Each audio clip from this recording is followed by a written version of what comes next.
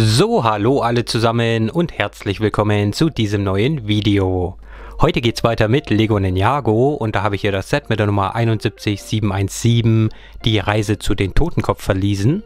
Das Set ist jetzt 2020 neu erschienen, die unverbindliche Preisempfehlung von Lego liegt bei 24,99 und dafür bekommt man genau 401 Teil. Darunter sind dann vier Minifiguren, die sehen wir hier schon mal. Und hier auf der Rückseite sehen wir schon mal die Funktionen, die das Set dann zu bieten hat. Die testen wir natürlich nachher gemeinsam am aufgebauten Modell. Und rechts oben sehen wir noch, dass man dieses Modell noch mit drei weiteren verbinden kann, um so ein großes Spielbrett zu bekommen. Die anderen Sets werde ich euch natürlich noch zeigen und wenn wir da alle zusammen haben, dann wird es nochmal ein Video geben, wo wir dann eben alle Sets miteinander verbinden und uns das große Spielbrett mal zusammen anschauen. Aber heute werfen wir natürlich erstmal einen Blick auf dieses Set. Und da werfen wir jetzt erstmal zusammen einen Blick in die Box und schauen mal, was da alles drin ist. So, in der Box waren jetzt drei nummerierte Tüten. Zudem hat man hier noch so ein großes Felsteil bekommen. Und noch den Spinner, der auch gleichzeitig der Würfel ist.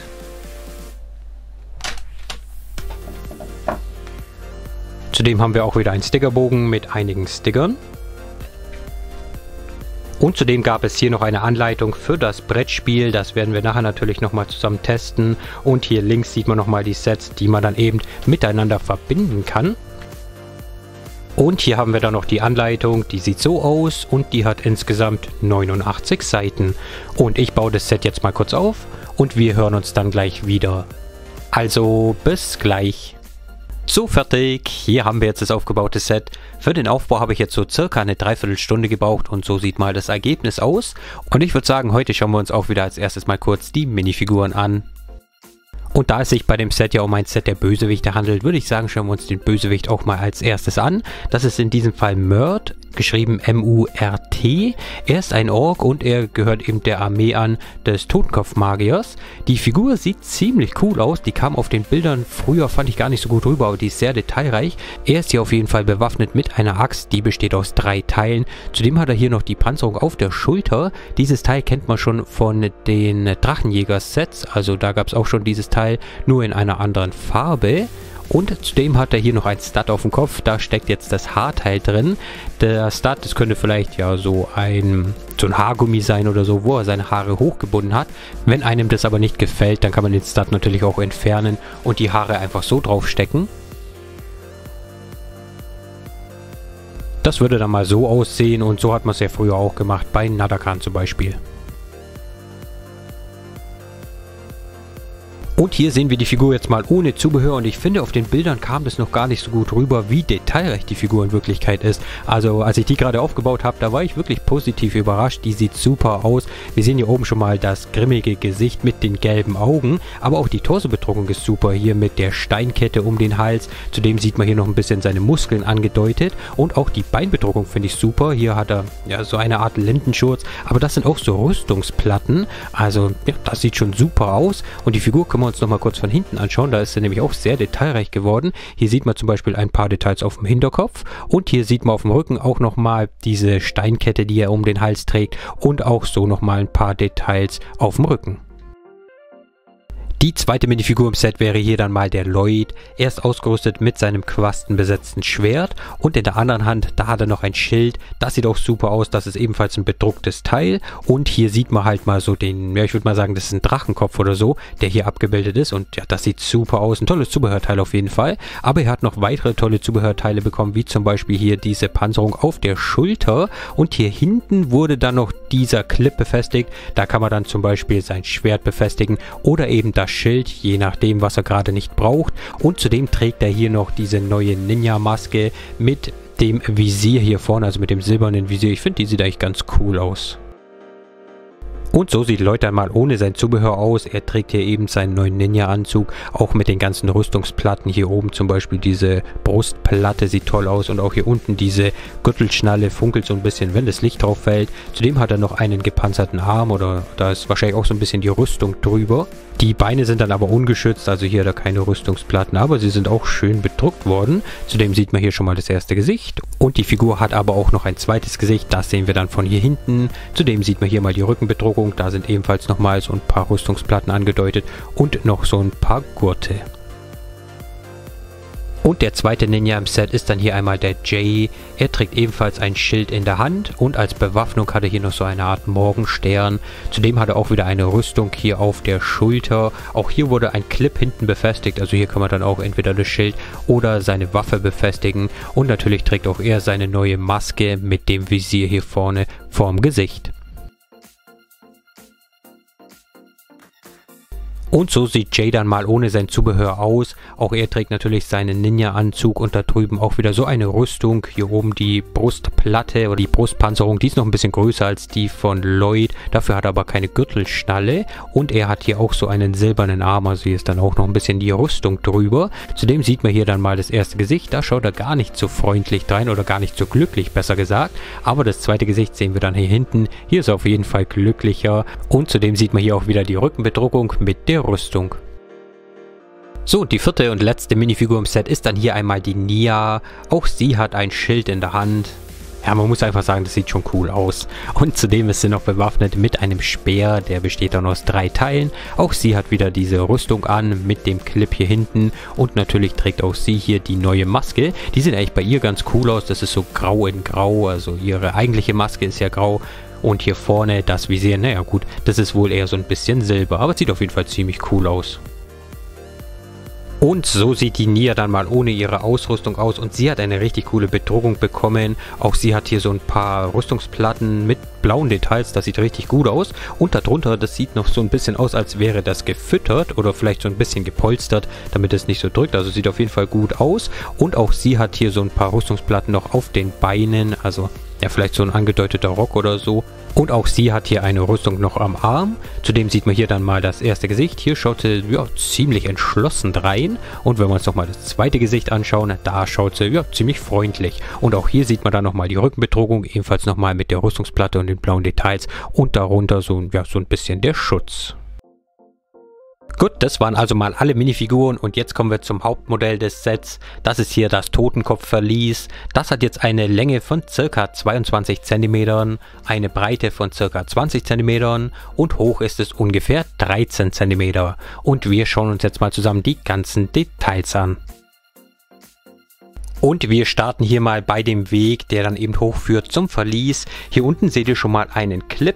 Da kann man das Set dann, wie gesagt, mit den anderen drei Sets verbinden, um ein großes Spielbrett zu bekommen. Und hier seht ihr ja schon die einzelnen Spielfelder. Überall, wo was drauf ist, also hier diese grünen Pfeile und auch hier oben der Totenkopf, das sind leider alles Aufkleber.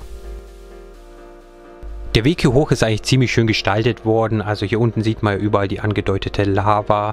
Zudem sind auch die Spielfelder hier oder die einzelnen Felselemente schön strukturiert gebaut worden mit verschiedenen Teilen. Und was mir auch noch ziemlich gut gefällt, ist hier dieses grüne Feuer, also diese Fackel an der Seite. Ich finde ja eben das Flammenelement in grün, das sieht super aus. Und hier haben wir jetzt auch gleich schon die erste Funktion. Das seht ihr vielleicht schon hier links. Hier ist nämlich so ein roter Knopf. Den kann man reindrücken und dann passiert folgendes. Wir stellen hier aber erstmal einen Gegner hin und jetzt drücke ich mal den roten Knopf. Da wird der Gegner hier mal ordentlich runter katapultiert. Dann geht unser Weg hier weiter eben mit den ganzen einzelnen Spielfeldern. Hier muss man dann noch bei einer schwarzen Spinne vorbei und dann geht es hier die Treppe hoch. Und dann ist man eben hier oben auf der Plattform.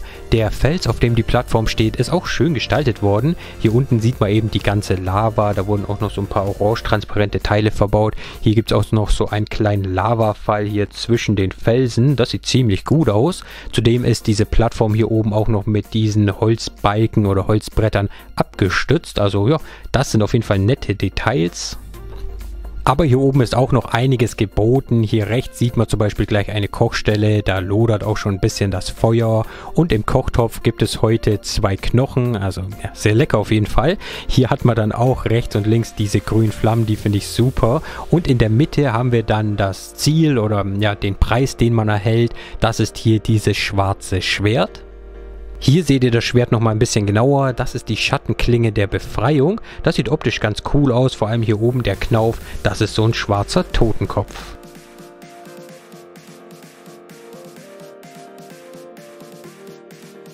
Und das ist eben das Ziel, das erreicht werden muss. Hier ist dann auch das letzte Spielfeld. Da ist jetzt ein X drauf.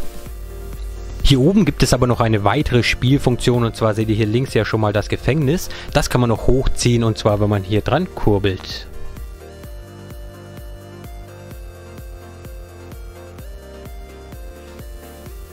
Das Gefängnis habe ich mal kurz abgemacht. Es hat halt so Holzstreben hier an der Seite und auch hinten. Hier oben ist dann noch das Teil, wo man es eben an der Kette befestigt. Und hier vorne ist der, ja, der Eingang, die Türe quasi. Mit Katanas wurde das gebaut. Und die kann man dann so nach unten hin aufklappen. Und dann kann man hier einen unserer Ninja einsperren und die Klappe vorne wieder schließen. Und von hier hinten seht ihr nochmal, wie das Ganze funktioniert. Also vorne wird ja gedreht und hier wickelt sich dann die Kette auf. Und so sieht das Modell dann mal von hinten aus. Hier sieht man noch ein paar versteckte Edelsteine. Also hier unten zum Beispiel einen blauen. Und hier oben, da ist noch so ein kleiner roter. Und ein weiteres nettes Detail finde ich hier unten das Bett. Der Ork muss ja auch ab und zu mal schlafen. Und wenn er dann hier mal ein Nickerchen macht, dann können unsere Ninja sich die Schattenklinge der Befreiung holen und gleichzeitig auch noch Jay befreien.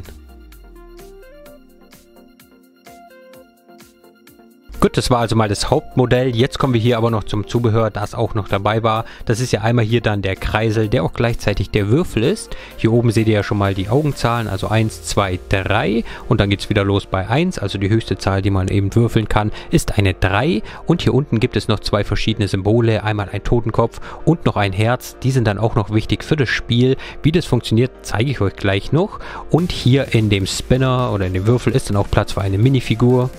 Da habe ich hier mal die Nia reingestellt und jetzt kann man dann eben würfeln.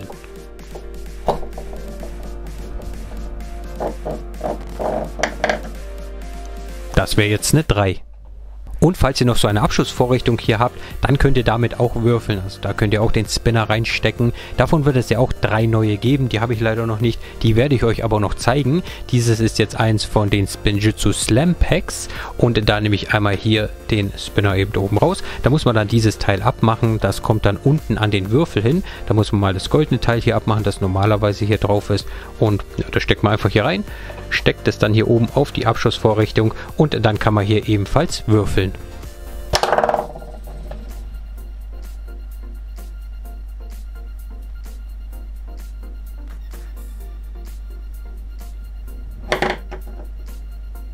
Und dann haben wir hier jetzt noch die Lebensanzeige. Die ist eigentlich ganz nett gemacht worden. Hier vorne mit den drei goldenen Herzen. Wenn man eben ein Leben verliert, dann klappt man es einfach so nach vorne um. Dann hat man noch zwei Leben und dann noch eins. Und ja, wenn das letzte weg ist, dann ist eben Game Over. Und im Hintergrund seht ihr ja schon, da sind noch zwei Stats. Da kann man entweder eine Minifigur hinstellen oder den Würfel, wenn man gerade nicht spielt. Dafür muss man dann bei dem Würfel auch wieder das goldene Teil abnehmen. Aber es ist ganz gut, dass hier nebenbei eine Kiste ist. Da kann man das Teil dann reinmachen und den Würfel stellt man dann einfach hier auf die beiden Stats. Gut, und jetzt schauen wir uns nochmal kurz an, wie gespielt wird. Dafür ist ja hier diese kleine Anleitung mit dabei. Fangen wir mal vorne an. Also den Bösewicht stellt man auf das Feld mit dem Totenkopf. Das können wir gleich mal machen kommt dann hier hin und der Ninja, der startet eben unten bei dem ersten Feld mit dem Pfeil, das ist dann hier. Und dann wird einmal gewürfelt, das können wir auch mal kurz machen. Mal schauen, was dabei herauskommt.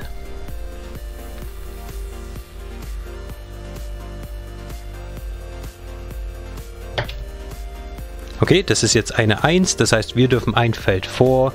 Da passiert jetzt noch nichts, da ist keine Aktion oder so. Würfeln wir einfach nochmal. Das wäre jetzt eine 2 und das passt eigentlich perfekt. Jetzt kommt man genau auf das Feld, wo eben hier dann der Bösewicht steht. Ich stelle den Ninja nur mal kurz hier hin. Dann kommen wir nämlich zu der Duellphase, die ist dann hier abgebildet. Hier muss man jetzt nochmal würfeln und jetzt sind hier unten diese Zeichen eben wichtig. Wenn man ein Herz würfelt, dann gewinnt eben der Ninja, in diesem Fall eben der Lloyd. Und wenn man den Totenkopf würfelt, dann gewinnt eben der Bösewicht. Ich würfel mal kurz und mal schauen, was passiert. Das wäre in diesem Fall jetzt ein Herz. Das heißt, wir würden gewinnen und könnten hier den Bösewicht einfach wegsprengen.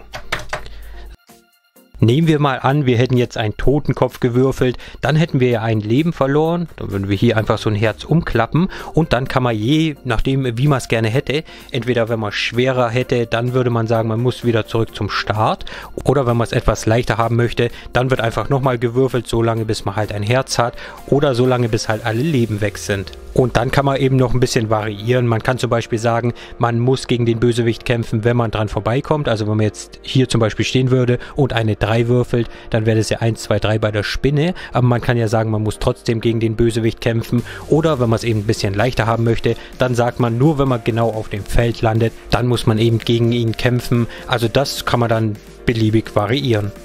Und es gibt noch eine tolle Sache, wie ich finde. Also wie gesagt, man kann ja die vier Sets zu einem großen Spielfeld verbinden, aber das braucht man nicht unbedingt. Also es reicht eigentlich, wenn man sich bloß ein Set kauft, weil auf der Rückseite ist hier nochmal ein Spielbrett abgebildet. Und da reicht es dann eigentlich, wenn man eins der vier Sets hat. Die vier Sets sind dann hier an der Seite abgebildet und die 7.1, 717 ist da oben. Das wird dann einfach da oben hingestellt und gestartet wird dann hier in den Jago und dann läuft man hier eben den Weg ab, bis man da ist. Und man kann natürlich je nachdem, wie es einem gefällt, über ein paar Gegner platzieren und somit dann natürlich den Schwierigkeitsgrad ein bisschen anpassen.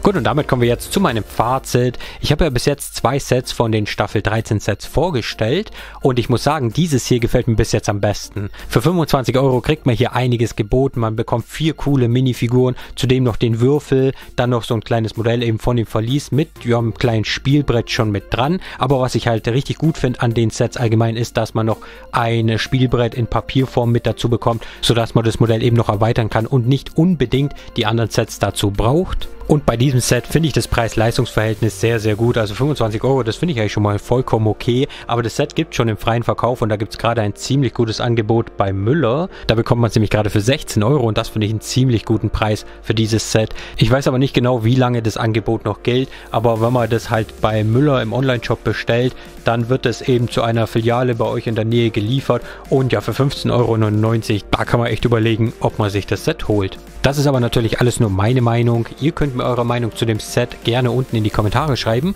Und was mich auch noch interessieren würde, schreibt mir mal gerne, was ihr von dem Spiel an sich haltet, also von dem Spielbrett und von der Idee, dass man eben verschiedene Sets miteinander verbinden kann und dann wieder so ein klassisches altes Brettspiel hat. Das würde mich mal interessieren, was ihr davon haltet. Ja, und wenn euch das Video gefallen hat, dann lasst mir auf jeden Fall einen Daumen nach oben da. Und falls ihr den Kanal noch nicht abonniert habt, dann könnt ihr das jetzt natürlich auch noch kostenlos machen. Und dann hören wir uns vielleicht im nächsten Video wieder. Und ciao.